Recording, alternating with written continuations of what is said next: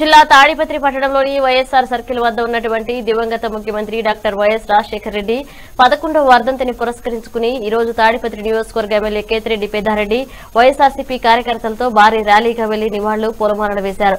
అనంతరం ప్రజా హృదయ నేత శ్రీ వైఎస్ రాజశేఖర రెడ్డి విగ్రహానికి నివాళులర్పించి శ్రద్ధాంజలి ఘటించారు. అనంతరం వైఎస్ఆర్సీపీ పార్టీ కార్యాలయంలో పార్టీ నేతలు కార్యకర్తలతో కలిసి వైఎస్ఆర్ చిత్రపటానికి పూలమాలలు అశ్రు నివాళులర్పించారు